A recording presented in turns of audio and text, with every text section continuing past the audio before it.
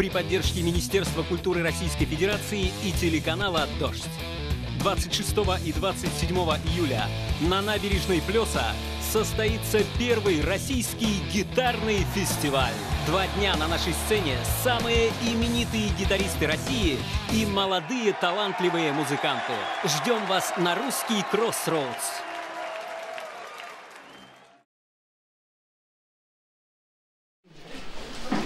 А, добрый вечер, дорогие друзья. Здравствуйте. Ну, конечно, ну, конечно, бурные, продолжительные аплодисменты, ну, а как же, такое событие важное. Спасибо. Повод, по которому мы пригласили сегодня всех, это 26, с 26 по 27 июля 2013 года в городе Плес Ивановской области стартует первый российский фестиваль гитарной музыки. Мероприятие, опять поаплодируем, конечно, это знаковое событие. Мероприятие пройдет при поддержке Министерства культуры России, при поддержке нашего продюсерского центра, столичная медиакомпания и главный информационный спонсор телеканал «Дождь». Ну, основная цель фестиваля, конечно, это пропаганда разножанрового исполнительского искусства от классической до современной гитарной музыки. Обмен опытом, диалог между профессионалами и начинающими музыкантами. И, конечно же, самое главное, популяризация гитарной музыки. Надеюсь, это будет на долгие-долгие годы. Это э, мероприятие будет расти, обрастать и со временем, конечно же, перерастет уже э, в международные события.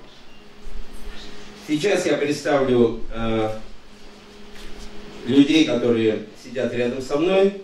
Это на пресс-конференции. Это э, Светлана Шмелева, приветствуем, начальник департамента культуры и культурного наследия Ивановской области. Михаил Козырев, ведущий фестиваля. Дмитрий Виноградов, председатель Московского открытого фотоклуба. Дмитрий Четвергов, хедлайнер фестиваля. Александр Хаскин, представитель компании ERG, который является партнером фестиваля. Особо поприветствуем нашего уважаемого гостя, special guest from America Israel, Лазер Ллойд. Михаил э, Суджан, мастер-классы. И Константин Голдынский, директор фестиваля. Вообще Плес является одним из лучших и самых красивых городов Поволжья. Это маленький, уютный город, а, который откроет свои двери для всех а, любителей гитарной музыки. Итак, дорогие друзья, как уже было отмечено, идея проведения фестиваля родилась у нас в областном центре, когда Михаил Александрович встречался с творческими союзами и с нашими музыкантами.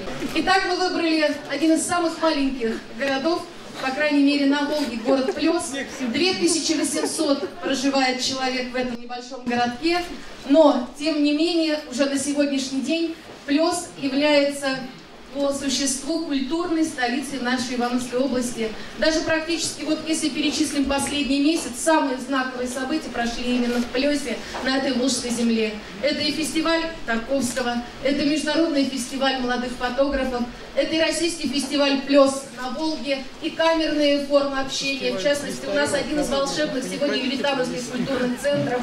Мы буквально две недели назад презентовали там рояль, и вот вновь мы ждем с нетерпением нашего первого российского фестиваля гитарной музыки. Если вы спросите о бюджете этого фестиваля, конкретно вот по Ивановской области, я скажу, что средства действительно незначительные у нас заложены в целевой программе развития культуры Ивановской области, и нам помогают социальные партнеры и спонсоры. Нам приятно отметить, что ожидает этот фестиваль не только профессиональные музыкальные коллективы, творческие группы, но и наша молодежь. В областном центре у нас прекрасный музыкальный колледж. Колледжу в этом году исполняется 100 лет. И именно наши гитаристы, молодые музыканты с нетерпением ждут и мастер-классов, и творческие программы, и, конечно же, индивидуальное общение с мастерами музыкального творчества. Ну а более подробно о содержании фестиваля, я надеюсь, расскажут наши коллеги по пресс-конференции. Здорово! Спасибо. Ну, а, и сейчас а, слово предоставляется ведущему фестиваля Михаилу Козыреву. Спасибо. Э, вот сказано только, что было сколько людей э, живет в Плесе. 2300. 2800, да. Я думаю, что в Вудстоке, в тот момент, когда там делали фестиваль, жило не больше. Точно так же, как и в Гластонбери, историческими и э, великими на карте земного шара становятся фестивали, которые э, возникают из маленьких мест, которые вдруг неожиданно потом надолго входят в историю. Мне кажется, что космическим кораблем научиться управлять легче, чем играть на гитаре. Ну, у меня какое-то вот такое абсолютно божественное отношение к тем людям, которые овладели этим инструментом, а еще могут извлекать из него какие-то совершенно, совершенно божественные звуки. Из тех людей, из тех музыкантов, которые выступят э, на первом гитарном фестивале, я давний многолетний поклонник э, Николая Девлет-Кильдеева, гитариста группы «Моральный кодекс», Э, он недавно на телеканале нас сыграл э, полную, ну, полноценную сольную программу. У него вышло аж три диска. Много имен в программе тоже для меня. Я, я их открываю для себя в первый раз. Постараюсь послушать перед тем, как вести этот фестиваль. А в целом, мне кажется, что цель одна – это оттянуться. И эта цель оправдывает все усилия, которые нужно приложить для того, чтобы всем было прям хорошо и Uh, for me, it's uh, being home. My great grandparents from Russia, and in Israel, my uh, the blues it was not. I started the blues probably like the first one, maybe 15 years ago in Israel, playing blues in Israel, and the Israeli people. Uh, didn't know so much the blues, but only one I play for is Russians in Israel. So all the place I start playing around Israel is the Russian uh, clubs. В Израиле я начал играть блюз, в основном начал играть блюз для русскоязычного населения Израиля, а в этой стране я чувствую, как будто я вернулся к истокам, потому что моя семья исторически родом из uh, России.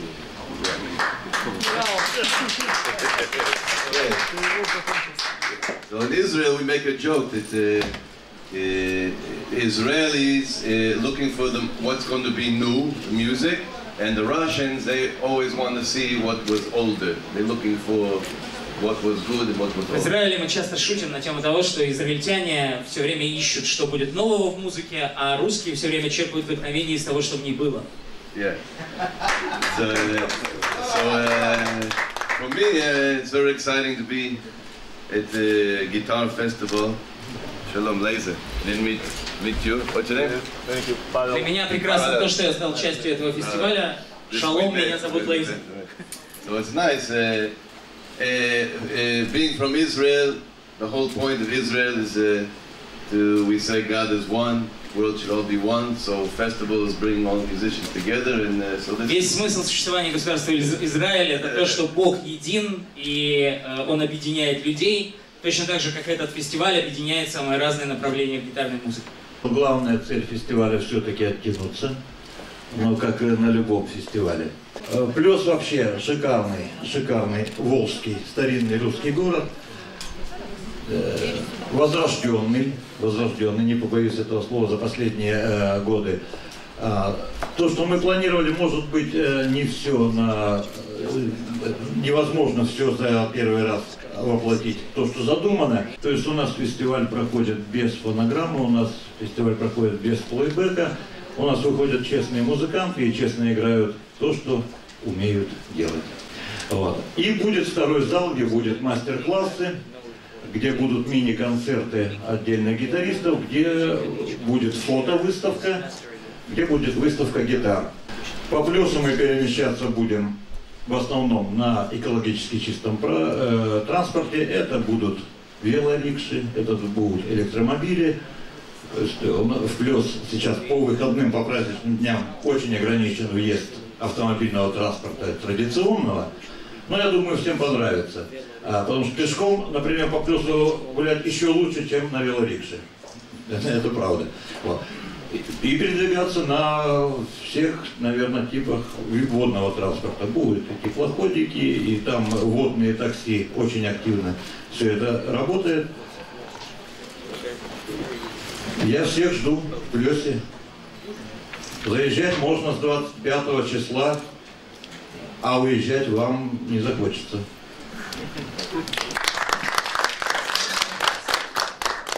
Если кто-то захочет посетить и экскурсионные площадки, они тоже у нас будут работать. Во-первых, у нас замечательные новые музеи, которые отреставрированы в зданиях и по истории древнего плеса, и по истории Ивановской области. У нас прекрасный вот этот Левитан который тоже был руинирован, и вы там сможете уединиться в тиши. Но самое главное, наши аплодисменты Михаилу Галкинского. Потому что именно ему принадлежат все благие, Константин, да, идеи по данному фестивалю. Спасибо, Костя. Вообще спасибо небесам, что наконец-то обратились к гитаристам достаточно серьезном уровне. Здесь, конечно, не, э, не самое главное, что мы вот уже по не один десяток лет дружим лично с Михаилом Александровичем.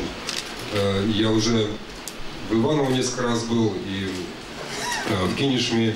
И всегда это были, были приятные концерты, потому что публика совершенно потрясающая. Основой нашей музыки является блюз, и это действительно уникальный язык э, мирового коннекшена, скажем, между музыкантами. Я вот, например, э, просто, э, скажем, не имея денег, скажем, курировал по Европе, по Америке, имея только инструмент, даже долго-то не, мог общаться, разговаривать, но когда я брал руки, в руки гитару, то было понятно всем окружающим, тем более музыкантам, которые рядом со мной были, о чем мы говорим? Мы говорим языком блюза, говорим языком музыки, а музыка – это великая тайна. Спасибо. Наша компания, компания ERG Custom Guitars, э, в этом году представит свою уникальную новую коллекцию на фестивале гитарном. Конечно же, гитарный фестиваль – это музыканты в первую очередь, но и инструменты, на которых они играют, э, немаловажны. Мы постараемся Э, осветить историю э, с помощью мастера, который изготовляет инструменты, рассказать о том, как они делаются, предоставить уникальную новую коллекцию, э, сделать мастер-классы, которые пройдут в, в Левитан-холле. Также компания благодарит за поддержку первый гитарный фестиваль, Центр Игоря Сандлера и столичную медиакомпанию за оказанную поддержку и возможность донести до фестиваля также уникальные инструменты, которые помогут э, э, поднять качество э, музыки и показать, насколько инструменты важны в качественной музыке. Также на фестивале примут участие известные музыканты, которые уже играют на гитарах ERG. До этого говоривший Дмитрий Четвергов, Михаил Суджан, который будет участвовать в мастер-классах на гитарах ERG, Э, Дмитрий Малолетов, который будет участвовать в фестивале, также играет на гитарах Ярджи. Будем рады всех вас видеть, и мы к вашим услугам.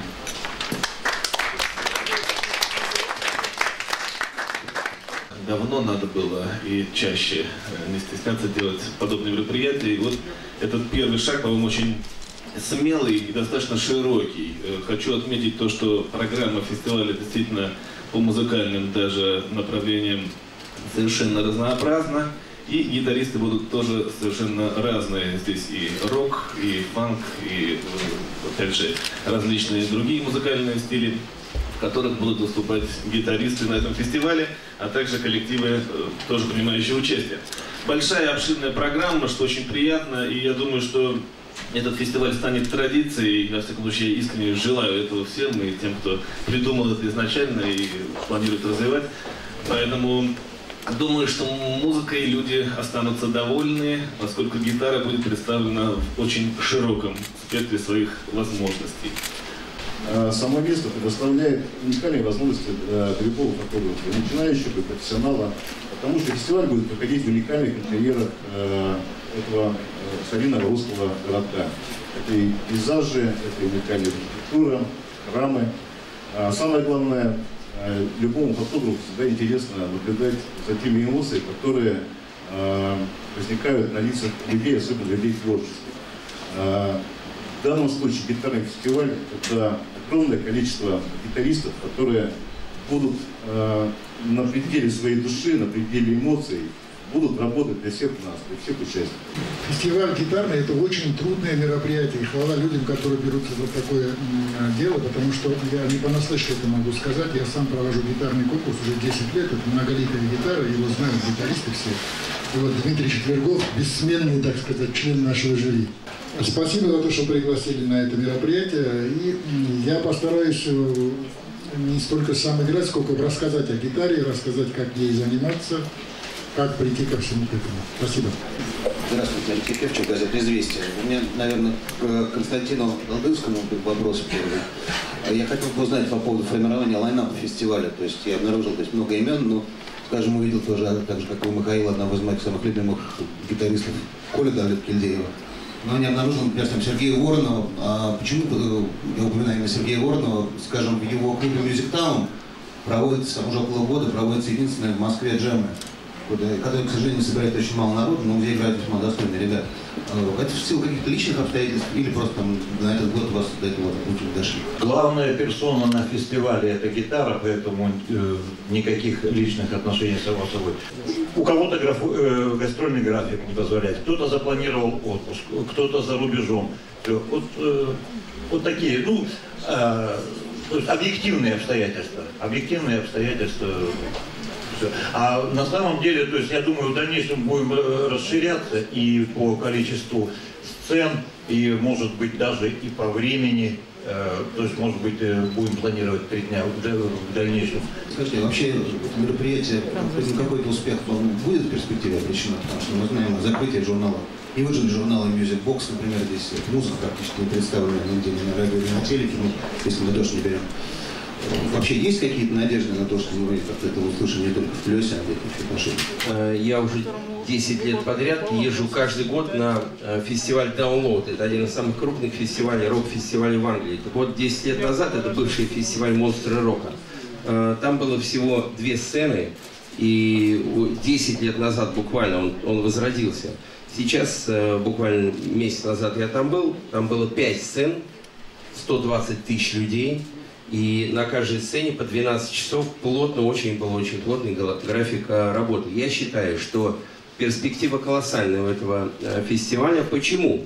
Да потому что э, все развивается по спирали в этом мире. Белая и черная полоска вверх-вниз.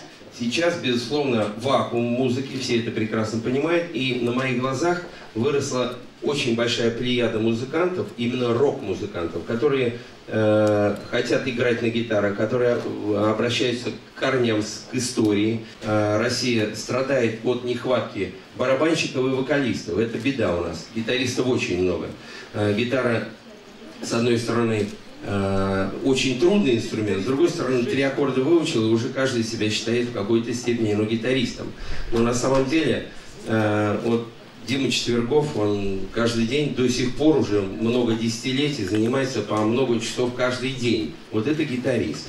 А, вот на этом месте сидел Сет Ригз, это э, основатель вокальной школы в мире, его ученики Майкл Джексон, Барбара Стрейзен, Стив Вандер, Тина Тернер, Мадонна и так далее. Так он, он рассказывал, что Дженнифер Лопес каждый день занимается 6 часов вокалом и 6 часов танцами. Каждый день, 12 часов.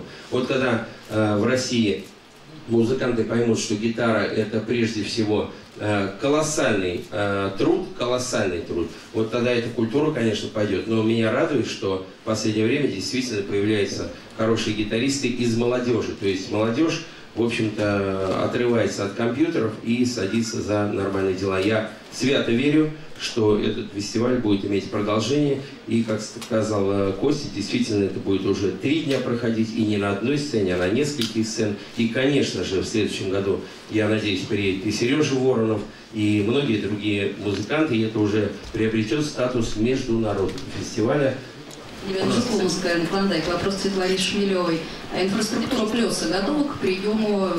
И будет ли возможность разместиться в палатках, например, вокруг фестивальной сцены, или как это все будет происходить? Спасибо. Инфраструктура плюс у нас постоянно развивается. Сегодня очень много мини-гостиниц, отелей есть.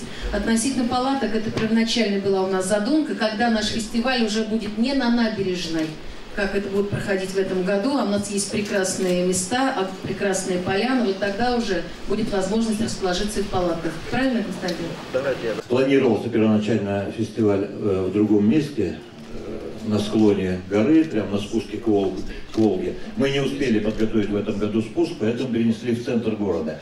Но кто э, имеет желание приехать с, с палатками, то есть э, в непосредственной близости к сцене, нет возможности.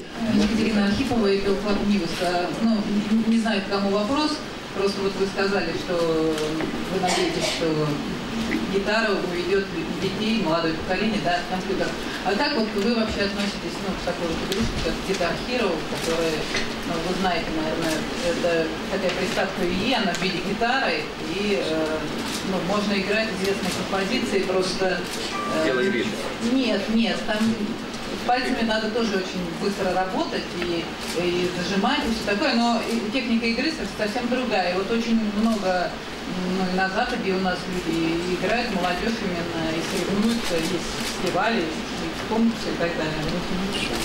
Что вы по этому поводу думаете? На самом деле, как говорится, чем дитя не, тел, не тешилось, лишь бы не плакал, в данной ситуации э, бери, то есть бросай наркотики и прочие дурные примычки, бери все что угодно, там, PlayStation, хотя тоже на самом деле вот это будет немножко в другую сторону, я, честно, не хочу, чтобы, мои, например, мои дети занимались такими игрушками. Есть ну, вот правильно сказал Михаил Козырев, есть скрипка, есть гитара, есть э, вещи, которые будут вечные, правильно?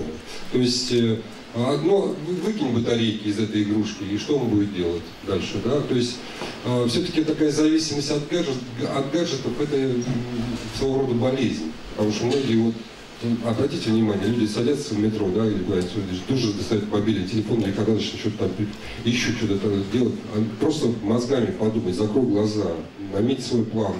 Я говорю о том, что все-таки гитара, э, да даже в конце концов не гитара, любое увлечение, любым делом, более-менее таким, скажем, даже может быть и не перспективным, но греющим душу, дает человеку возможность развиваться даже не в одном направлении, скажем, я на, на самом деле, честно говоря, если м, гитарист занят только извлечением нот и скоростной игрой, а, совершенно тупой, да, и, и, скажем, есть многие музыканты, которые просто, ну, ему говоришь, сыграйте гамму, он говорит, а дайте ноты.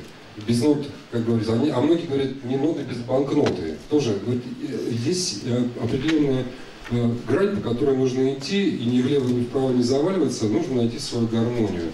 Я считаю, что, конечно, гитаристы это не вокалисты. Вообще гитаристы это при- принято считать, что гитаристы неудавшиеся вокалисты. Безусловно, песня, она ближе к народу, да, и пока не будет индустрии музыкальной, как, скажем, вот у Михаила Козырькова, наше радио, безусловно, когда на наше радио будут приносить, или, скажем, на, на, скажем, на его новую передачу приходить с таким проектом, как у Николая Кельдеева, и, и народ об, об этом увидит, узнает, безусловно, поднимется рейтинг гитары, под- поднимется рейтинг инструментальной музыки. Но я умышленно, кстати, кстати, в своей группе использую вокал, с тем, чтобы разбавить немного, потому что сам знаю, что через 30-40 минут я вот лично в этом убежден, какой бы ни был высокий профессионал на сцене, от забилов гитары уже, честно говоря, уже не знаешь, куда деваться. Вот я, как гитарист, мне уже тяжело. Через 30 минут мне тяжело, от, от гитары я уже как, ну как, как бы там стряни не играл со Стиваем. Стивай немножко дальше пошел, он там скрипку, кстати, в своих концертах, и какие-то вокалы употребляет. Так что а, на самом деле нужно разбавлять музыку. Наша задача музыкантов не утомить народ. Самое главное. Если мы будем утомлять своими экзерсисами музыкальными и бесконечными поливами, то, конечно, все разбегутся и не придут. Потому что девчонки должны радоваться, правильно? Ну, а для чего все? Мы гитару взяли для того, чтобы девчонки радовались. Чтобы мы были, были героями своего рода.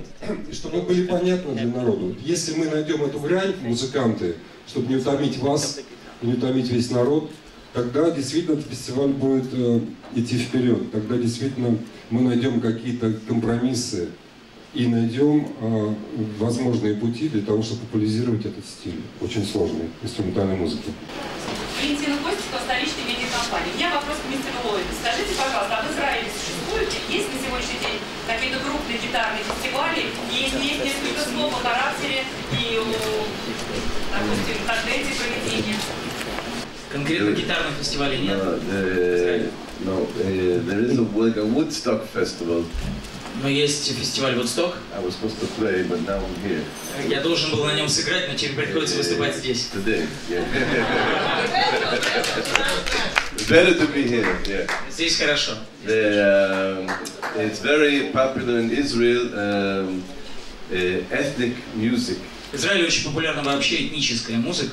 Like uh, Israelis like to make.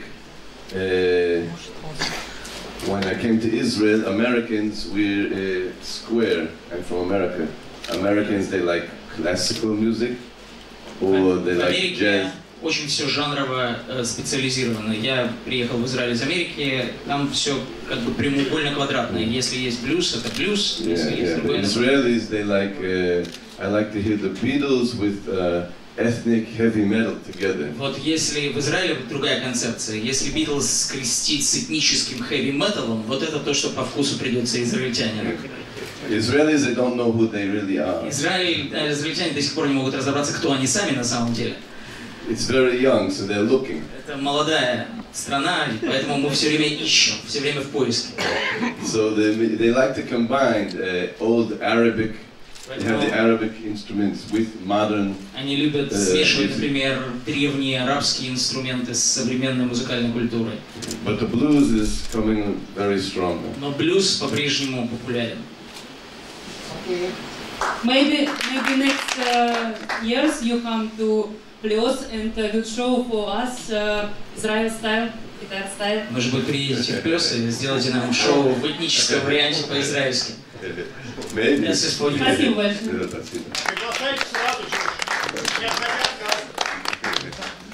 Фишка всегда заключается в том, чтобы э, угадать нужное время и нужное место.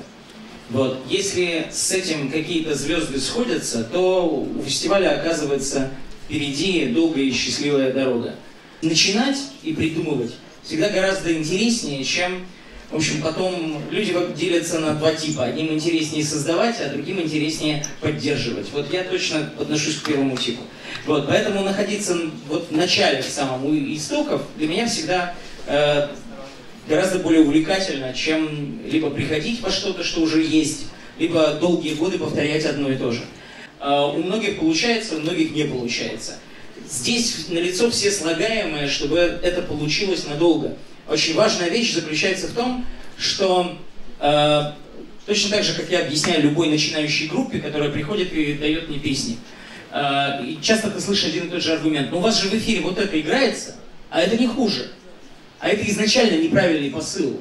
Тут нужно задавать себе вопрос не почему ты можешь не хуже, а в чем тебе так, что в тебе такого уникального, чего нет ни в чем другом. В данном случае есть уникальная позиция у этого фестиваля. Нет гитарных фестивалей. Вот таких на открытом воздухе, в- еще в уникальном месте, который, в которое удобно добираться недалеко от Москвы, да, в котором так живописно. И фишка заключается в том, что всех объединяет инструмент, который позволяет много разных стилей э, на нем сыграть. Поэтому вот я верю в это из-за того, что это вот такая вот уникальная фишка в основе лежит. Если все срастется, то там через 10 лет э, несколько ведущих гитаристов мира будет, будут биться между собой, кого, кому ехать туда, а кому не ехать. Считаете, этот фестиваль должен быть чисто российский или же это должен быть международный фестиваль? Ну, я сейчас произношу крамольную вещь. Я вообще не считаю, что что-нибудь должно быть чисто российское. Или чисто, я не знаю, израильское, или чисто южноафриканское. Каждая... Я, я, я вообще считаю, что э, жизнь нам дается один раз, планета маленькая, и чем ближе мы будем друг к другу, тем лучше. А тем более музыка.